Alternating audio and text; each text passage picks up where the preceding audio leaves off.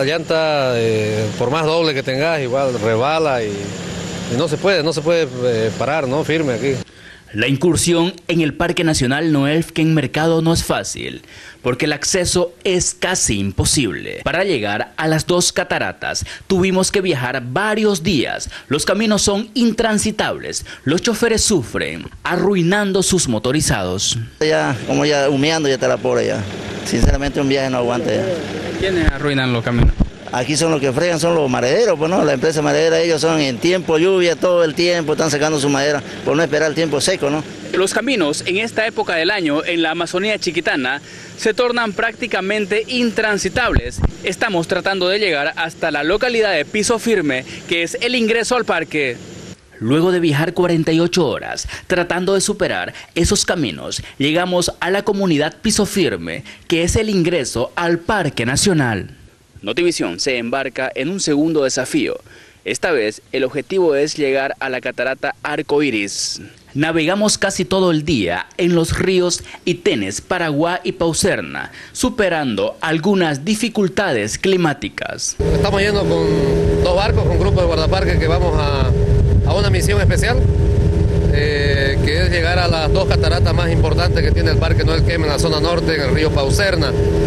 Y bueno, eh, gracias a Dios y, gracias a ustedes por la, por la disponibilidad eh, para llegar hasta acá, el esfuerzo. Como, verá, como han visto, no es fácil.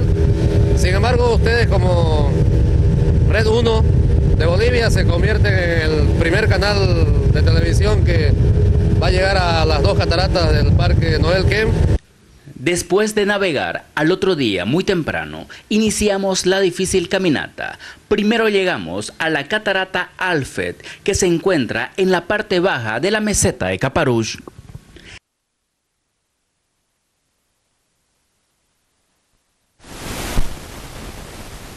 Seguimos el recorrido en compañía de los guardaparques que nos brindaron toda la seguridad necesaria, varias horas escalando la meseta. Luego casi cuatro horas de caminata y escalando la Amazonía, estos son los momentos donde uno empieza a flaquear y pensar en abandonar la misión. Sin embargo, hay que sacar fuerza de donde sea para poder cumplir el objetivo, que es llegar a la catarata Arcoiris.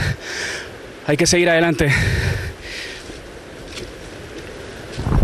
Finalmente, luego de tanto sacrificio, llegamos a la segunda catarata arcoíris en su máximo esplendor. Todo el cansancio se fue como por arte de magia.